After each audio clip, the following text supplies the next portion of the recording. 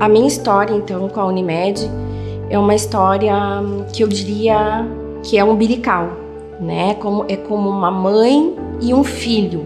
Quando a umbilical liga essas duas, uh, esses dois seres, né? A placenta liga. Então, eh, eu estou intimamente ligada à, à história da, dessa maternidade.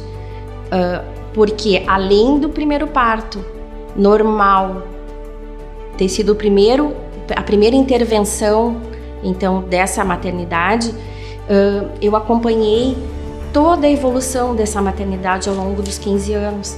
É como se fosse uma mãe e um filho que mais me chamou a atenção nesses 15 anos foram a chegada de novos médicos, então, e agregando então novos pensamentos, novos valores. Nos últimos três anos, então, nós tivemos um incremento de nascimentos uh, através do parto normal, o que eu acho bastante positivo, porque as mulheres elas estão tomando consciência de que elas são capazes de parir, sendo que o nascimento normal, de, de parto normal, é o que tem de melhor para uma mulher.